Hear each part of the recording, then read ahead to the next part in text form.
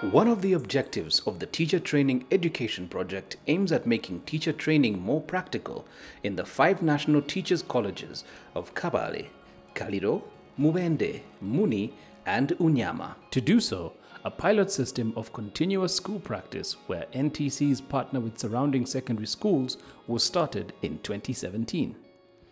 Partner secondary schools teachers were trained by NTC mentors on active teaching and learning and on methodologies to provide support to student teachers.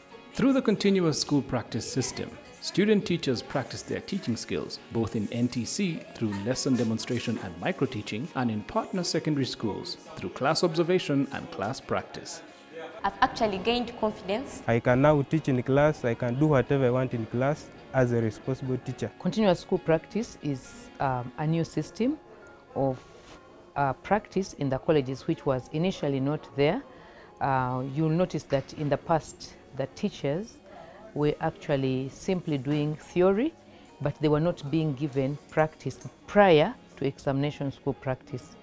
So um, the Ministry of Education deemed it important to have the teachers uh, get more practice uh, on top of uh, the theory.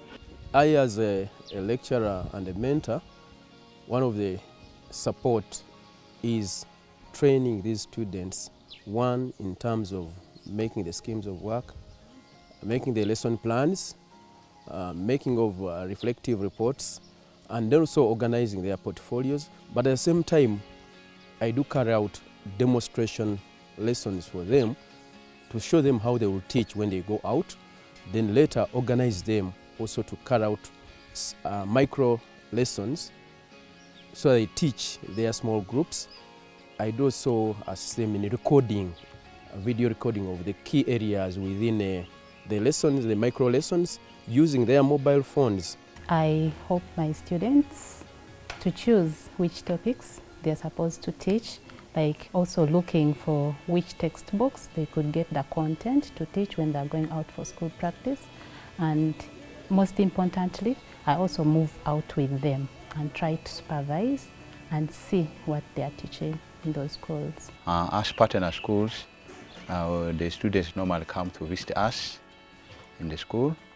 They visit us in the classrooms. We teach together with them. Sometimes we even give them work to do or they observe from what we do in the class. And then after all these presentations, we sit down to analyze how our lessons have progressed and we chart a way forward to improving areas of weakness so that for them they can gain confidence when they go for what is called examination school practice. And after, after conferencing, each time they come back, I've seen a change even the, the, the scheme of work they, they bring for me the second week is different from the previous one with minimum mistakes that that one I've seen the practice of uh, self-reflection evaluating themselves to, to make a better improvement that one I have seen. The benefits I have identified in continuous school practice is that these student teachers normally use good methods which are learner-centered. The students normally benefit from them because they have seen that they are understanding more concepts in mathematics because of those good methods. This innovation provides hands-on experience and confidence to student teachers. This continuous school practice is thus complementary to the examination school practice system in the sense that it aims to avail the NTC students with more opportunities to put theory to practice before they are examined. It has a lot of uh, improvements it has brought for example, traditionally students used to get no exposure in terms of uh, teaching. They had to move to for final school practice without being exposed to any school. So the first thing is that at, at this moment now students are exposed to the real school situation. They are exposed to real classes where they go and teach.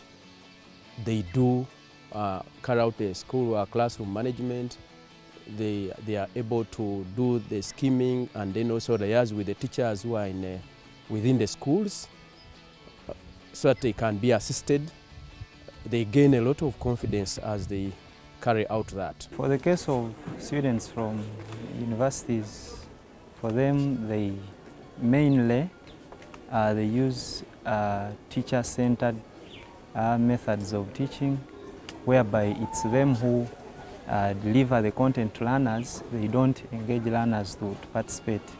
But for the case of students from national teachers colleges, for them at least they try to make learners participate.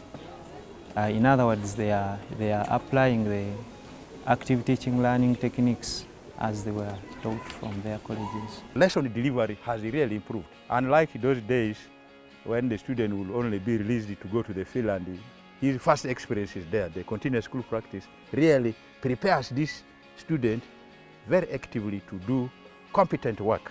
Uh, sometimes when the lecturers come, even it, it, it looks like as if this one is already in the field. I think we are equal also learning out of it to see how you can impress this new system where uh, the learning is mostly now learner-centered. I have gained confidence that I didn't have. At first, I, I had the feeling, that, that fear, fear, fearful feeling. I used to fear students. I couldn't even stand in front of my fellow students. All NTC student teachers, Year 1, have undergone continuous school practice in the academic years 2017-2018 and 2018-2019. After the first year of experience, 92% of student teachers confirm that continuous school practice prepares them for examination school practice.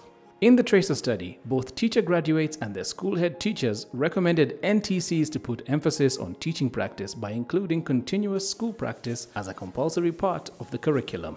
Concerning sustainability, I think we need to institutionalize it. We are currently, uh, we are in the preliminary stages of revising the NTC curriculum. And that is one of the things that we need to incorporate. It should now be embedded in our budget as the Ministry of Education because we want to train teachers that are practical, we want to train practical teachers and it has been proved that this continuous school practice is very beneficial.